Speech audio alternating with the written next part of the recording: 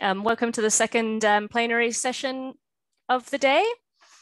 So it's a pleasure to introduce um, Lewis Mitchell, who was the 2021 awardee of the um, J.H. Mitchell Medal. Um, he's made significant contributions to the emerging field of computational social science. He uses mathematical modeling, computational statistical techniques to assess real world phenomena. He's really had impact across a number of applications. He's collaborated with a number of groups to investigate the um, geography of happiness, the shapes of stories um, in novels in different languages, um, the effect of body image on social media, and monitoring of the wildlife trade, to name just a few areas that he's worked in. Um, he's taken this work and contributed to a significant number of outreach activities as well. He's been features in, in installation and artwork in the Museum of Discovery in Adelaide.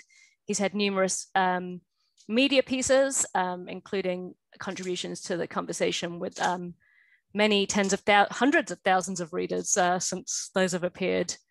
Um, Lewis's CV really is impressive. He's um, attracted several grants, um, published a, a, number of journal articles, and I think importantly, um, published and worked a lot with a, a number of different um, collaborative projects and a number of different students. Um, in 2018, he was awarded the South Australia Tall Poppy Award and the AC EMS Awards for Outreach and Outstanding Achievements. So he really is a des deserving recipient of the 2021 uh, Mitchell Medal, and I'm looking forward to um, hearing his talk today on applied mathematics and data science. Over to you, Lewis.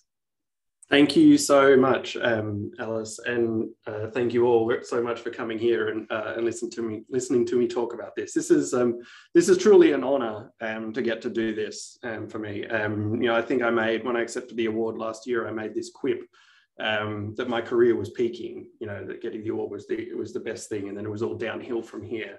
Um, but this is probably better. This is um, you know more uh, um, worthwhile and um, rewarding thing to do. Um, even so, maybe that was a local maxima, and this is the peak. And now this is the peak of the career, and it's all going downhill. so thank you very much. yeah, and it's a pleasure to talk about this.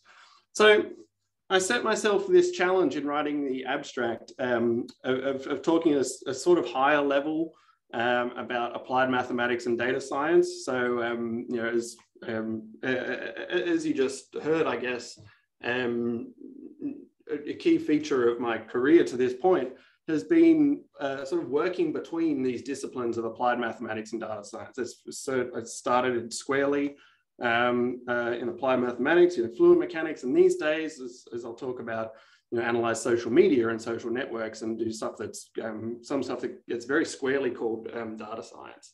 And, and this is an important time for us to have this discussion, I think, um, about uh, what the distinctions are, what the relationship is between these two disciplines. So the plan um, for today. Um, I'll try and uh, I'll talk at a sort of high level um, about data science, or talk about what it is, um, where I think it's going, um, uh, uh, uh, and then um, uh, I, I, want to talk about then uh, later on about applied mathematics and how it is complementary, I think, with data science and, and what those relationships are. Um, but I want to try and just illustrate some of this with examples as well. So I don't want to just talk uh, entirely in generalities. So I will tell you a little bit um, about my uh, research. So I'll tell you about some of the fun social media, um, you know, pretty squarely data science work. Um, and I'll explain why. I'm in this Hedonometer project um, and the various things that we've done there.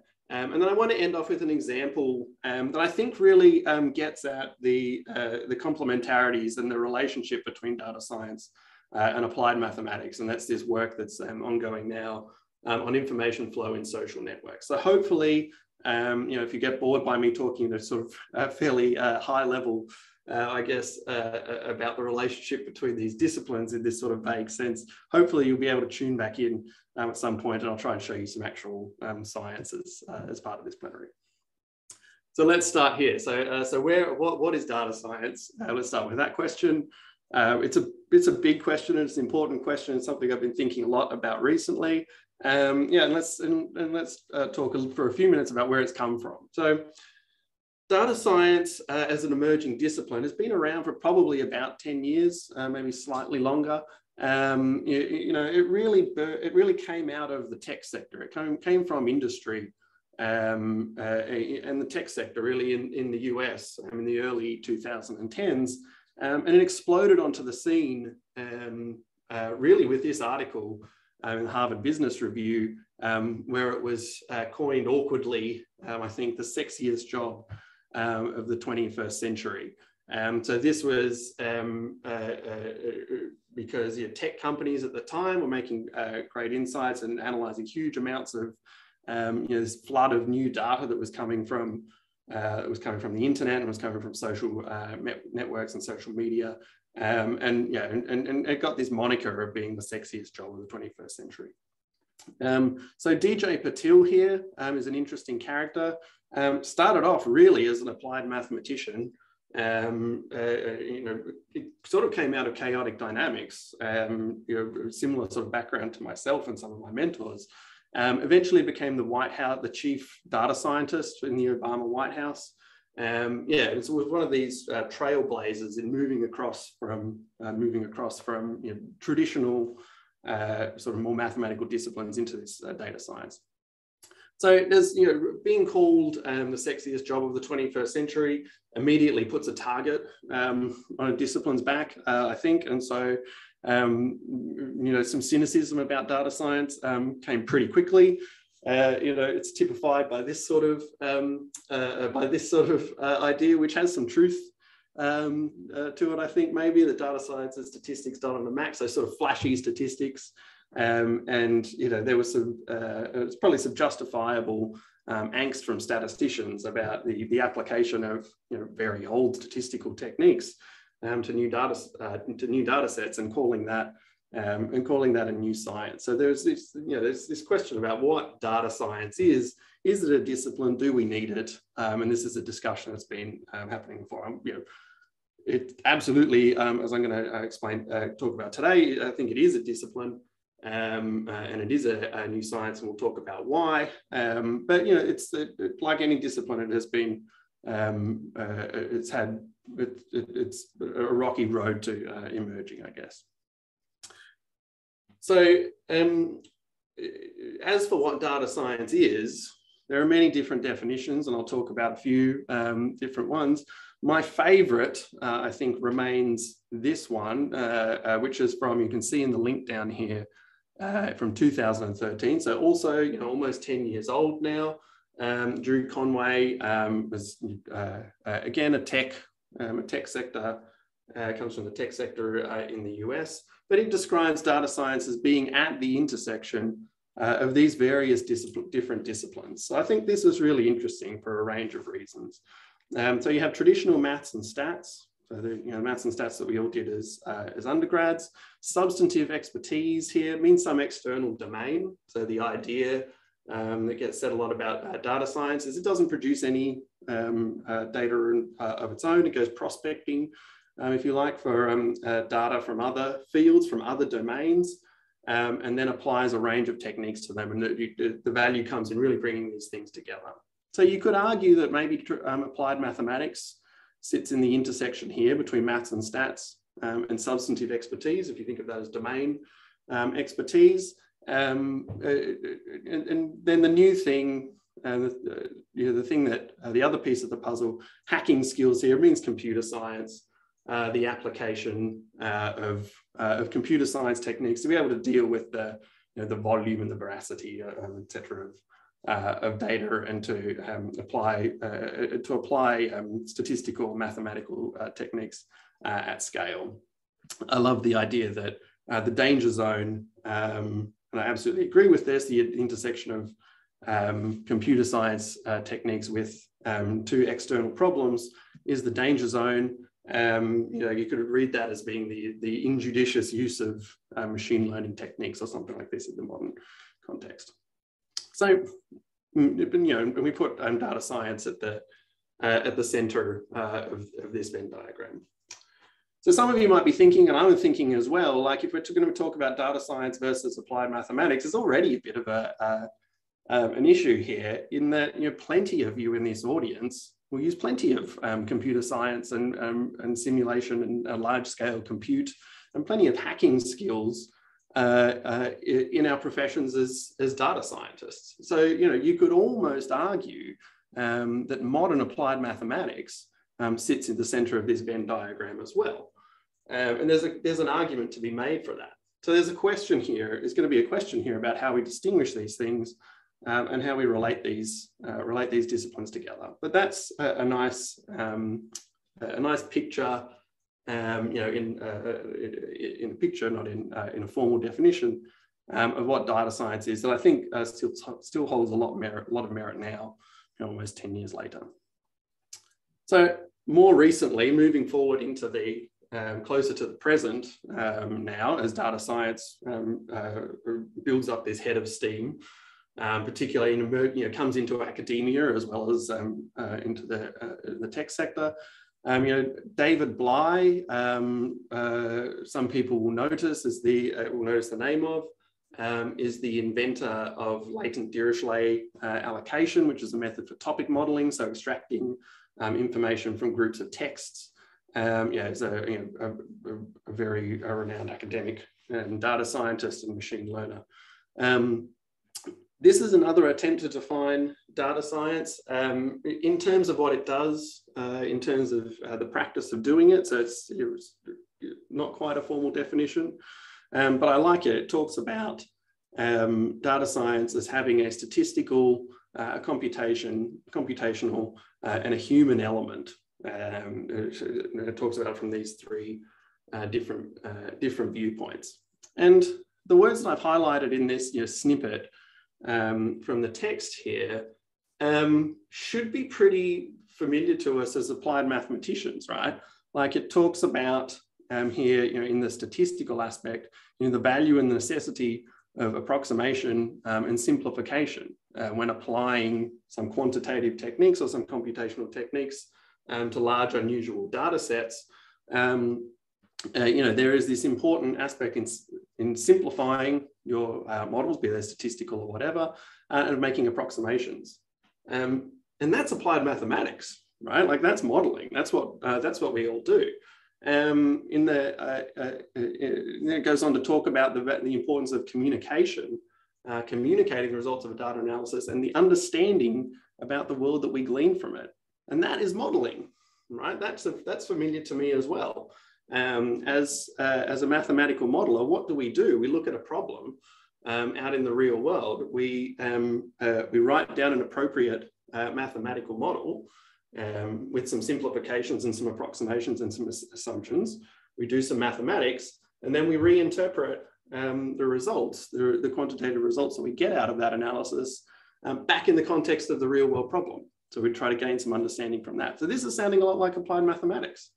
Um, and then it goes on to talk about, um, you know, the relationship um, with different domains and, you know, the idea of data scientists and domain experts working together, um, you know, to um, create appropriate models with appropriate assumptions and appropriate, appropriate methods. And that sounds a lot like applied mathematics. So there's a real similarity here. Um, between these few things. And so, you know, uh, we should be thinking um, that data science is, is, should have a lot of interaction with applied mathematics, and there should be a lot of commonalities between the two. Okay, so that's um, a bit about data science. I want to tell you a little bit uh, about my, I'll give you an example uh, of a data science project um, that I've worked on that has these statistical, computational, and human um, elements. Um, and what I'm going to talk about is this um, hedonometer project that I've worked on uh, uh, with colleagues from the University of Vermont, from the Vermont Complex Systems Center, over a long time now, over you know, again, 10 years now. Um, so hedonometer.org is a website that you can go to that ingests 10% uh, of all publicly authored tweets per day. Uh, and from it, it does some magic uh, and it produces um, a daily stock ticker, daily happiness ticker uh, of the happiness of the Twitter sphere based on the things that people have written. So you see that Christmas Day is a happy day. Um, you know, January the 6th, uh, 2021, the storming of the US Capitol uh, was a sad day uh, on Twitter. Uh, and, you know, there's, uh, you can explore and there's a lot of interesting patterns here. Um, you can delve in a little bit further. If there's an unusual day that you find here um, that looks particularly sad, you, you want to know why that is. Um, you can go and look in the words that are making that day um, are relatively sad compared to uh, the days nearby. You see that this particular day, which is in uh, uh August 2020, uh, was the day of a protest of a shooting in, um, uh, in Wisconsin. So people talk about gun violence and things like this more on that day. Um, there's a few other uh, things going on. You see hurricanes are being talked about there. Um, and you know, um, this stuff pushes out people's ability to talk about exams. So people have, uh, must be talking about exams uh, on Twitter at the time. I guess it's that time of year uh, in the US, and that goes down because you, you, can only talk about so many things um, at once. So how do we do this? So let's talk about the statistical aspects of this data science product. So the, the fundamental data here, the data that's been uh, looked at um, is words. So essentially, um, uh, the way that this study works is we built up a dictionary um, of the scores of words. So we asked people to uh, rate words on a scale from one to nine based on how happy or sad they are. So laughter and Christmas are happy words, terrorist and cancer are sad words, uh, you know, stop words are, are in the middle. You'll be happy to know that mathematics is slightly above average. That's a good news story for us once you get a few, um, once you get a, a few ratings. And then what we do, the statistical aspects of this tool, the machine learning magic underneath the hood, um, is so naively simple that it's not funny. Um, for a large collection of text, you take all of the words that are on the day, uh, written on a day, you look up their scores, right? They all have these happiness scores, and then we calculate the average. Right? We calculate the first moment uh, of this distribution of language that's been written uh, with respect to these, uh, these word scores. So this is just a way of writing the mean. So the statistics here um, is super simple, right? We're doing the simplest possible statistics you could ever um, uh, you could ever imagine. So, but there is a statistical aspect. So next come the computational aspects. Um, and there is an awful lot of computation that has to go on underneath the hood here. Uh, I don't want you to look at um, any of the writing here, just know that this is um, a tweet.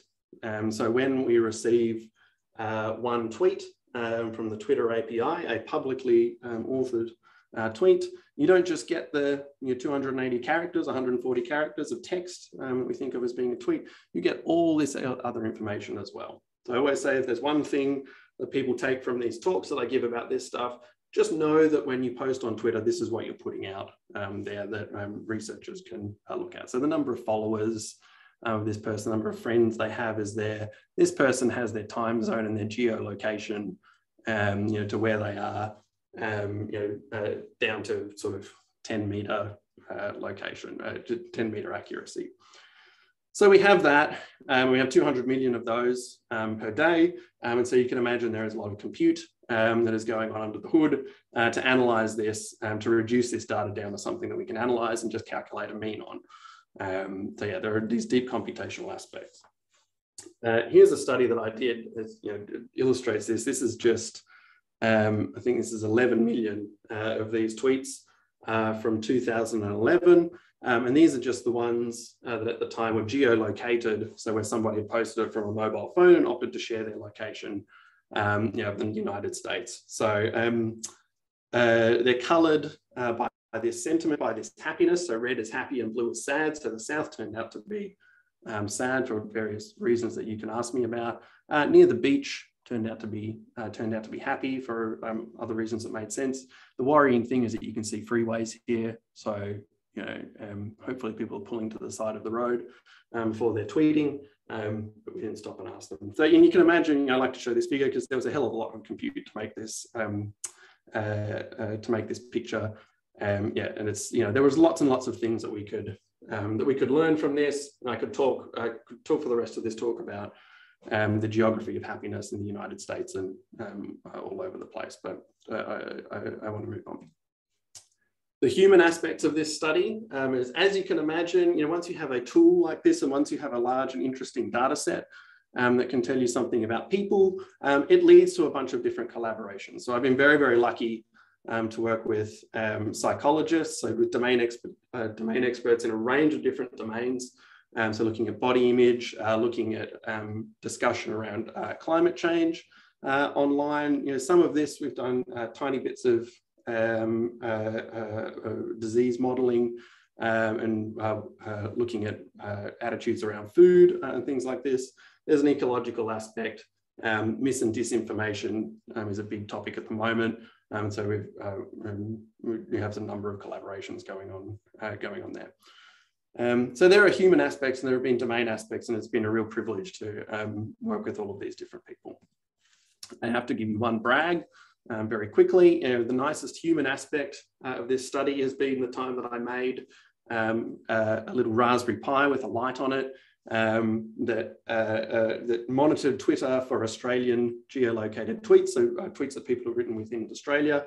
Uh, and then it changed color based on how happy or sad those tweets were. So I had this you know, real-time uh, little piece of installation art on my desk here um, that flashed lights and was a good conversation starter with students. Um, that led to, happily for me, um, you know, this Museum of Discovery um, uh, here in Adelaide um, was having a, happened to be having an exhibition called Hedonism, which was very fortuitous. Um, and I happened to meet someone who was organizing this uh, exhibition. Um, I said, that's cool. Um, can we make a big one? Um, so they made a big one of my little orb. Um, and this was a piece of installation as part of the part of the exhibit. Yeah, uh, for for six months or so. So that was a that was an amazing experience to work with artists and installation artists um, I can talk about um, different colors and um, you know, the, the, um, the, difficulties that we had in choosing colors for this orb. Um, so learned a lot um, through that experience. Okay, so that's an example of a pure data science project, uh, right? Like there's, it, there's interesting data in that. There's statistics uh, in that, very simple statistics. you know, you could talk about more complicated statistical methods. Um, there's a lot of compute uh, in it, and there's a lot of applications to different domains. So that's data science, um, right? And it's pretty, um, pretty enjoyable piece of data science. Um, I want to come back to the plan. We're halfway through this talk. Um, we want to uh, shift gears a little bit uh, and talk about uh, applied mathematics. Um, but before I do, you know, let me just talk briefly about data science, where it currently is at, I think, in Australia, and where it's hopefully going to uh, be going over the next few years. Um, some of you will have seen uh, this report uh, from late last year from the Australian Academy uh, of Science um, on data intensive research uh, in Australia. And to me, this is really a kind of a call to arms for academic data science um, in Australia. It's, it has a, um, a fantastic chapter um, that I've sort of stolen a little bit from um, for this talk. Uh, about the history of data science um, and data science in Australia. That's well worth reading, it's very readable. Um, and importantly, makes a series of recommendations um, to the academic community and to the Australian government, um, to various organisations over here on the right, um, around data science and around other data-driven um, uh, uh, uh, data-driven disciplines. So I'll pick out a few of these. Um, I'm only picking out a handful, I should say. Uh, there are recommendations uh, in this as well around establishing data science centres uh, in universities across Australia, um, creating a data science society like we have this society for applied mathematics, uh, mapping Australia's um, capability uh, in data science and related disciplines, um, and addressing gender imbalance, which is really important because data science, like um, so many other disciplines, including our own, I guess, has um, you know as these these gender imbalances that we want to that we want to try and correct. So, but the, the the handful of recommendations I want to focus on uh, one about establishing data science as a discipline, right? So recognizing um, that data science is its own scientific discipline alongside others, creating a field of research code, an FOR code, which would be um, great for me personally, so I know where to, so I know how to fill that section out uh, on my uh, um, on my ARC applications, uh, and strengthening, you know, through various different schemes, uh, establishing um, uh, various different schemes for strengthening Australian research in foundational data science. Um, so data science is at this cusp, um, I think, in Australia of becoming its own, uh, of becoming a discipline um, and, uh, uh, uh, and really being defined. Um, you know, that's important um, for um, us to know in applied mathematics. And the question for us, the discussion question that we'd be having hopefully over, uh, over afternoon tea if we're already person is how should we respond? Uh, how, um, what should we uh, do uh, here in applied mathematics? So, you know, all of these questions are going towards uh, uh, are getting at the question of real, trying to really get at what is data science, um, define it's, it's challenging as to define what it is, um, to sort of manifest it, um, yeah, and, uh, and establish it as a discipline. So here's what I want to say about applied mathematics. Here's the thing, um, is that we've been here before, right? Um, this has happened, uh, this has happened before, and in fact, um, you know, it has happened in applied mathematics um, over the uh, over the lifetimes uh, of some of us. Um, we've had this debate about what is applied mathematics. Um, you know, A.F. Pillow, um, some of you will recognise the um, uh, the name as uh, being a very prominent Australian applied mathematician um, and uh, having a named uh, postgrad scholarship named after him. So Pillow has given this talk about applied mathematics, and it's amazing to read because if you substitute data science for applied mathematics, then what he is saying in 1965 about applied math um, translates to everything, you know, almost verbatim to everything that I've just said. So in fact, you know, here are some of the questions, here are some quotes uh, uh, from, the, from the lecture. Do we need applied, an applied mathematician? He, you know, he says, uh, is, applied math, uh, is applied mathematics an independent discipline? uh, of its own. Um, he sort of answers this question, of course, and says, you know, like much like data science, applied mathematics lies between the sciences, and it is an attitude, it's an approach, uh, it's a way of thinking, and these are things that we could map onto data science as well. Um, Pillow's answer to the question, um, I'm sure many of us will uh, agree with. You know, he um, uh, establishes that uh, he concludes that uh, applied mathematics is an independent scientific discipline which first seeks to construct idealized mathematical models uh, in science and engineering by successive syntheses, and then aims by deductive analysis of those models to harness nature and gain a richer understanding of it. Compare that with the, um, the PNAS uh, article on data science and science that I talked about five minutes ago. You know, we've been here before. Um, applied mathematics has gone through the same discussion um, as data science has. That's a really um, important point, I think while I'm talking about um, applied mathematics, let's flash forward to the present uh, and get a perspective um, on what applied mathematics is now. This is important if we're talking about uh, data science uh, and applied mathematics. Um, so Nie is a, uh, is a pure uh, mathematician, and this is from the notices of the AMS. Um, you know, firstly, the nice thing is, uh, the nice thing that Weiner Nie says in this um, article is that applied mathematics is a mature scientific discipline. So applied mathematics certainly exists, and nobody would um, debate that at the moment. And here are the features um, that uh, uh, uh, says are um, uh, the features of modern applied mathematics. So, you know, the first is first principle based modeling. So by that, he, he, says means what we'd call um, traditional sort of physical modeling, applied, math, uh, applied mathematics, PDEs based, physical laws based, um, applied mathematical modeling. That's number one. Second, data-driven methods. By that, he says he's explicit, he means machine learning. Uh, he means stats and he means data processing, like image processing and things like this. So data science, data analytics skills, uh, and then algorithms. So, um, you know, if I look at this, I, I, kind of think, well, if that's what modern applied mathematics is, I guess I'm just an applied mathematician uh, these days, but because you know, I sort of do all of those um, but only just. And so that's, you know, that's interesting um, to me as well. So in all of this, you know, we're starting to um, think in everything I'm saying, you know, is applied mathematics just data science? Are these the same thing?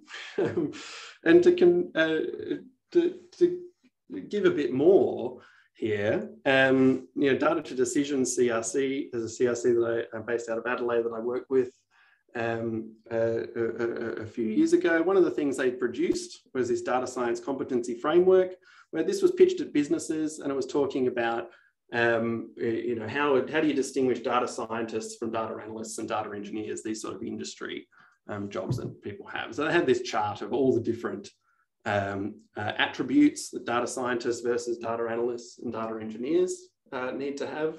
Um, and what's the one thing that distinguishes a data scientist, um, it's modeling. Out of everything on that table, um, according to this, the thing that is unique about data science compared to the other data-driven disciplines is modeling. We're all modelers. This community is modelers. Does that mean that we're, are we all data scientists? uh, there's a uh, there's a discussion question for over um, uh, over uh, uh, afternoon tea, I guess. You know, to be clear, they're talking about statistical modelling here. They do make reference. They do talk about mathematical models um, as part of this. They're largely talking about statistical modelling, but there's an opportunity um, for modelling to be fully integrated within this new discipline of data science. One last Venn diagram. Um, you know, the, the, answer to the question um, from the past slide, I don't think applied mathematics uh, and data science are exactly the same, and I'll uh, tease them out in uh, the example that I'm going to conclude with. But you know, here's my stab at a Venn diagram, a modern Venn diagram for um, uh, data science and applied mathematics. Um, you know, we get asked the question all the time about how AI and machine learning are different from data science. I think that data science is much more than just the, um, uh, the idea about modeling um, makes data science much more um, than just machine learning uh, or AI. Um, and I think that applied mathematics has a lot of overlap. You know, we could get into trouble here. You could I put different disciplines, different sub-disciplines of applied mathematics and try and figure out where they fit um, on this. But I think there's there's a lot of overlap, and that's something for us to embrace. But you know, these, these are not completely overlapping uh, circles here. And I want to conclude with an example, a little science example, uh, research example uh, from my own work about where I think um, uh, the distinctions lie, where the, the subtle um, uh, differences lie. And I hope um, how these two disciplines can sort of help each other out. So here's a piece of data science research um, uh, that I've been working on uh, for some years now with my colleague, um, my collaborator, uh, Jim Bagrow from the University of Vermont, and that's continuing on now. Uh, being interested in social media, um, we had this data science type question, um, you know, which is to what extent um, is my online activity predicted by my friends? So if I can see the tweets or the posts um, of my friends, if I can gather all of those, um, but I'm sort of hidden, I delete my account or whatever, uh, how much of an inference can you make about me uh, from my friends? So how much of the future of this ego uh, can you predict from the past of these alters to use that sort of social science language? So there's a data science uh, way to answer to this uh, way to answer this question. You know, a um, an obvious thing might be to just say, well, I've got things that I want to predict. I've got data um, from friends that I want to use to predict it why don't I just build a machine learning model? Let's deep learn um, you know, these future posts based on um, previous posts, chuck it into the neural network. Um, away we go, measure the accuracy, boom, you have a, you've got a number. Um, cool. You know, that would be fine as an approach. We're kind of both applied mathematicians, so we took a, um, you know, much, uh, what I think is a bit more of a nuanced um, applied math inspired approach. We just to say we're talking about information here, you know, how much information uh, of my online information in these tweets here can be, uh, is represented in the information of these. So, you know, I can measure across entropy between these, um, between these groups. And there's, you know, there are ways to estimate this in a non-parametric way, which I won't talk about. So we looked at how much, um, if I if I you know looked at how much information was in a, a population uh, of Twitter users, um, got this blue histogram here and then looked at how much information, uh, how much of that could be predicted um, from these alters. You see that there was some overlap here, but you made some errors, of course. Um, uh, and so these distributions don't entirely overlap. We could convert this uh, through Fano's inequality through some information theory results uh, to a measure of predictability. Um, and you see that uh, as we add more and more friends, so as you observe more and more friends, um, you get closer and closer to being able to make as good a prediction as if you were reading uh, the individual's tweets themselves. There's a, you know, there's a cool conclusion to this paper was that once you have the data from eight to nine friends, um, then that captures uh, you know, 95% uh, of the, uh, the, the, individual's potential predictive accuracy. So the, in principle, you could uh, create a machine learning model which could um, predict 95% um, of the information that you could get from uh, from, a uh, uh, from a user themselves. And that's independent of a machine learning algorithm. So that was a nice fundamental result. So we could have stopped there, um, but you know, we started to look at things like social networks, these information flows between individuals in networks. Um, we started to look at, think about different questions. We wanted to look at uh, uh, uh, individuals with different vocabulary sizes in different languages and things like this. And, you know, we, we ran up against this question of interpretation, right? Like just getting these numbers um, is not that um, useful uh, all the time. You want to be able to interpret uh, these values um, and to and to have a sandpit to play it. You know, I want to be able to control inputs to outputs. If I have users of a certain type, if I can create those, um, then then how does this information flow measure work? Right? If I have a particular type of social network, if I want to explore um, different types of social networks, how does information propagate? What is the uh, information flows? Uh, what do they look like in those in those networks? So we found that we needed to do some modeling, right? You know, the, the flashy statistic was, um, that was fine, um, but we couldn't really understand what all of this meant unless we could compare it um, with a sort of controlled experiment. You know, this is, I haven't told you any of the details of this study, but it was all observational. You know, this is all just looking at data and coming up with a cool metric and applying it. And that's sort of, um, you know, somehow unsatisfying. So applied math comes in. Um, so what we needed was a model uh, for how people uh, uh, write um, online um, and how people uh, generate and share information online. And so we came up with this thing called a quoter model, uh, where people uh, write simulated text with some properties that are somewhat realistic. Um, and it becomes a stochastic model. We embed them in a social network, which, you, which we can create, um, and then have some generative model um, for the dynamics of this information generation and propagation different to um, uh, you know a contagion type model. Um, we're actually generating words here uh, and passing those around. And now we could start to really learn some stuff.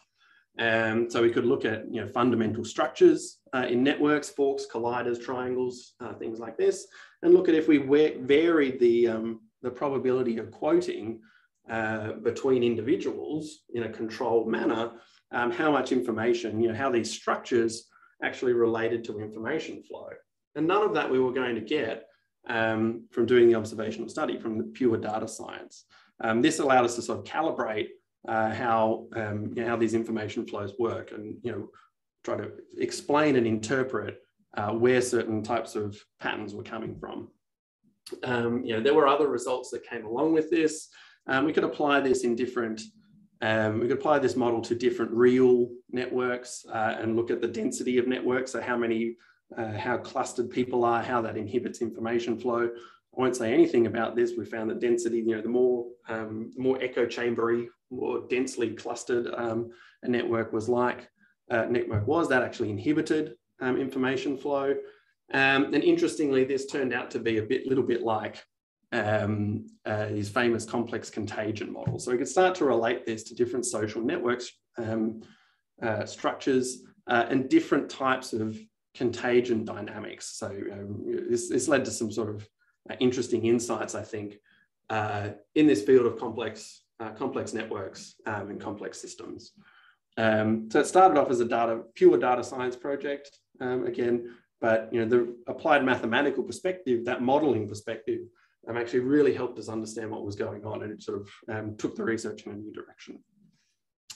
Okay, so there's much more to say about um, that information flow I'm really passionate about. We have lots of projects um, going on, so I will abuse my uh, power here in the second last slide um, and tell you that you should go and see Bridget Smart's uh, talk tomorrow afternoon uh, in Quokka. She's talking about, amongst other things, the application of some of these information flow techniques to coordinated activity in social media. So if you have, um, uh, you know, a malicious entity group who's trying to spread uh, misinformation uh, in a social network, uh, the, you know, these information flow techniques um, seem to give us um, uh, nice ways of detecting that um, and hopefully countering it. It's another great example um, of how there's a strong data-driven component to it you know, there are real, there's real data that we should look at there and that we can learn things from, but we can't understand whether the stuff that we're seeing is real or not without, um, you know, the modeling, the digital twin um, sort of idea, um, and without the um, applied mathematical modeling perspective. Um, okay, so that's it.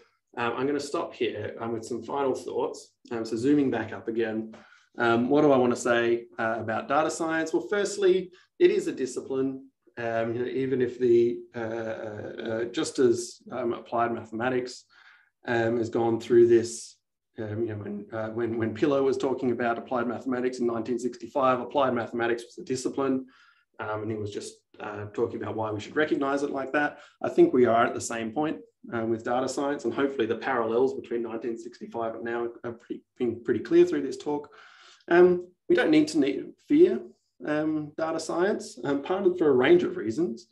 Um, part of the reason is that I think data science is distinct from applied mathematics. You know, they, they have a lot in common, but they are not exactly the same. You know, the mathematical modeling that we did in that last section, um, this quoter model is mathematical modeling. That's applied mathematics. Um, it is distinct. Um, uh, we could ask different sorts of questions. We could do different sorts of things what we do in traditional data science. So um, it's just the, the disciplines are distinct, but with a lot of overlap and with a lot to help each other um, with. Hopefully that, um, that last example kind of illustrates that. Yeah, and I'm, I'm increasingly convinced of this final point, uh, which is that data science really needs applied mathematical uh, expertise. You know, um, in Australia over the last few years, data science has been uh, sort of claimed and owned by um, uh, by computer science to large uh, to large extent, I think. And I see there's a real opportunity and there's a real need um, for applied mathematicians to get involved and to bring the um, bring the perspectives that we have as modelers and people who understand this process of limitations of models um, uh, in uh, limitations of models and assumptions um, and communication, working in different domains, um, and all of these aspects, that's needed in applied mathematics. Uh, uh, that's, that's needed um, in data science. Um, yeah, you know, the, one of, for many reasons, including for if we want data science to be trustworthy, uh, want it to be interpretable, um, it requires the types of skills um, that this community has. Um, so yeah, I think it's a it's an exciting time um, uh, to be in data science uh, and to be in applied mathematics. Um, and I hope that there's going to be a lot of cross fertilization between the two disciplines. Um, that's it. That's my talk. I'll stop sharing my slides and I'm happy to take questions. Thanks. An excellent talk. Um, so I have my eyes to everybody. I'm seeing lots of uh, applause. I have my eyes on the question and answer. Um, so I'll take the first uh, question. It was interesting to me on your first um, example in your data that there's peaks in happiness annually at mm. Christmas time that mm. seem to be about the same height as mm. the, the sadness that people feel in quite major events. Is it the case that um, the happiness side of things tends to be higher than the sadness, or is it? uh, um, yeah, I think so. I mean, the last two years has thrown everything um, uh, out. Last two years have been very strange if you go and look at the website. Um, yeah, I mean, all of these don't take the actual numbers themselves too seriously. It's a sort of a very relative measure. Um, yeah, and you're looking for sort of the trends um, in this in this thing. One thing that I'll say is that what's really really interesting um, about uh, the you know point that you've identified uh, there is the peaks in happiness tend to be almost totally deterministic, right? They're completely predictable. It's Christmas Day, it's Mother's Day, it's New Year's Day. Um, you know, the only sort of surprising things are when a Korean pop star has a birthday or something, you'll see peaks then um, uh, because there's a big, turns out there's a big K-pop um, community on Twitter. The dips, the troughs, the sadness, um, the dips in sadness are much more interesting. You know, they're, they're much more random. Um, much, there's much more information um, contained in those in a lot of ways. So yeah, that's a, it's a really interesting thing that, um, yeah, is, uh, is very, is very much the um, you know, happy families are all alike. The sad families are, uh, it's sad in their own ways to bastardize that quote. Um, yeah. We know when we're expected to be happy. So we've got a question from um, Scott McHugh on the chat. The type of mathematical modeling that Fenton Pillow refers to in 1965 relates more to fluid mechanics and heat convection than information flow and Twitter. Do you think those of us who still dabble in these classical topics are about to go extinct? Um, are we not sexy enough for the 2020s?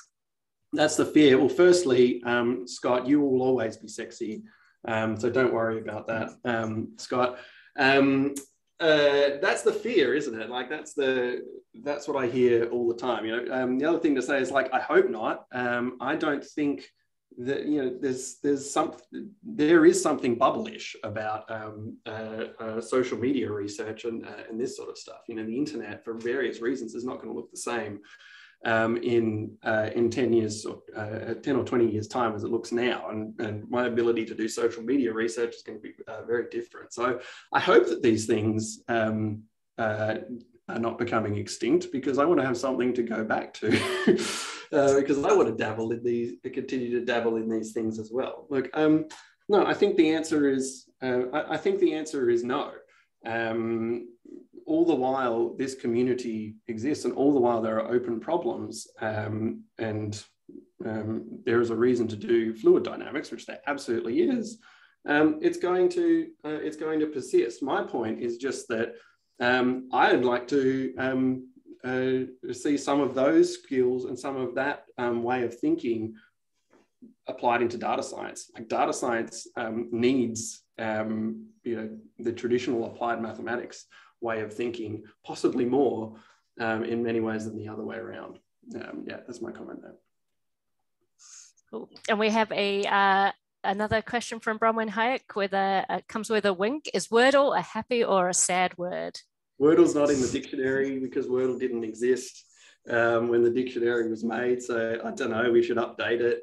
Um, yeah, I, have as well as you've been, if you've been watching my Twitter, you see that I'm, I'm interested in uh, in Wordle, and I'm um, uh, hoping to do get back to I'm analysing some of these millions of tweets now I've collected uh, over the past couple of months uh, about Wordle. There's a whole bunch of interesting problems there that I think that we could look at. So yeah, Wordle's uh, interesting to me too. It's partly because partly for the disease aspect, the virality aspect partly there's interesting questions in what you can learn about people's problem solving ability and stuff from actually what they post. Um, yeah, I want to do a lot more with that. So um, we're getting quite a few questions in now, but we, we have time for maybe one or two more before people have to get on to their next talks at 10 to. Um, so uh, I'll try to save those so that you can uh, have chats about them later. But um, from Samson Ting, this might be a naive question. Do you see data driven models as mostly synonymous as machine learning models? If data driven models is a, are a superset of machine learnings, what exactly distinguishes them? Yeah, good question.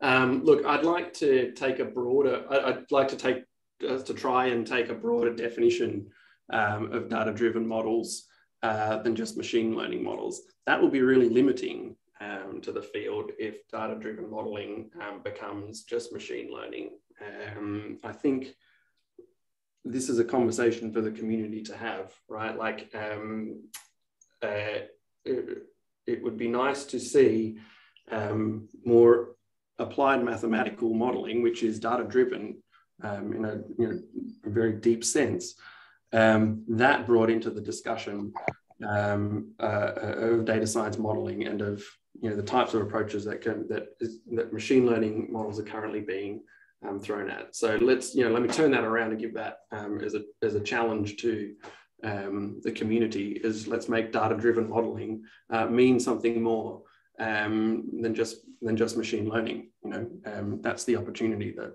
um, that I think we have, and yeah, that, that's what I think we should go into. Thank you. Uh, we'll leave it on that, the questions. I have taken a screenshot so I can forward them to you so if you can't see them. Um, so um, Thank you again, Lewis, for a wonderful talk and congratulations on your um, Michell Medal from last year. Um, and just uh, we'll give uh, Lewis another round of applause virtually. I don't know if you can see them, but um, they come up somewhere here on my screen. Um, and we have roughly seven minutes to make it through the little um, maze to our um, next sessions. And hopefully everybody enjoys your afternoon or evening for uh, some of us. Thanks, everyone.